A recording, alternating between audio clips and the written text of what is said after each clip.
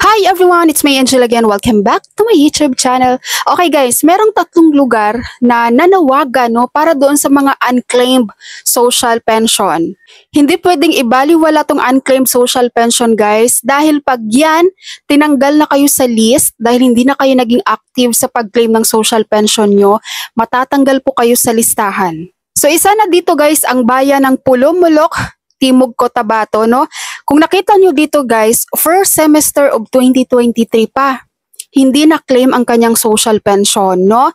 Ang kuhaan po ng unclaimed social pension sa kanilang lugar ay sa May 13, 8 a.m. to 12 noon at Poblacion Sanchez Gym.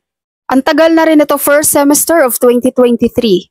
At nanawagan din po ang Barangay Poblacion Cotabato unclaimed social pension na schedule nilang i-release po on May 9 Bukas to guys, um, Thursday, no? May 9, 8 a.m.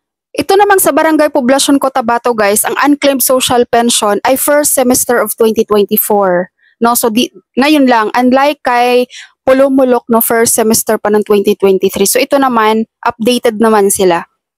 No, sa Barangay Poblacion Cotabato City dyan guys, baka nandito yung name nyo sa mga unclaimed social pension, sayang tong 6,000 pesos. Next naman po, nanawagan din ang Malay Balay Bukidnon. Meron silang scheduled ng unclaimed social pension ngayong May 10, 2024. So, Friday. So yun lang guys ang tatlong lugar na nanawagan no, para sa mga unclaimed social pension. May naisip lang ako dito sa unclaimed social pension guys, no? Kasi katulad nung pulumulok na first semester of 2023 pa, masyadong matagal na. Hindi ko lang alam kung ginagawa ng DSW dito ha, pero mas maganda sana kung yung may mga unclaimed social pension, puntahan nila mismo sa bahay, no?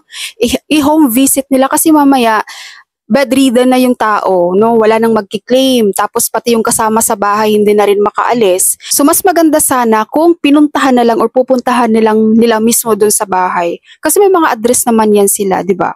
Not sure lang ha kung ginagawa nila to. Kasi 'di ba guys, mas madali 'yon once na merong unclaimed social pension at hindi pumunta sa unang schedule na binigay, edi puntahan nila sa bahay kasi baka mamaya wala na pala yung pensioner na 'yon, no?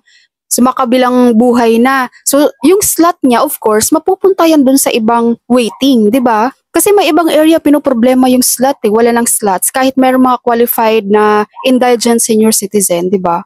So kung i-home visit nila, pinakamadaling paraan yun para malaman nila kung ano na nangyari dun sa pensioner. Kung sumakilang buhay na, edi mabakante na yung, matanggal na siya sa listahan, may bakante na silang slot na pwedeng lagyan nung nasa waiting list na indigent senior citizen, ang tagal na rin nag-antay na siya ay maging qualified or makatanggap din ng social pension, di ba? Okay, so yun lang guys for today's video. Keep tuning in dito sa aking YouTube channel. Thank you so much for watching everyone. God bless.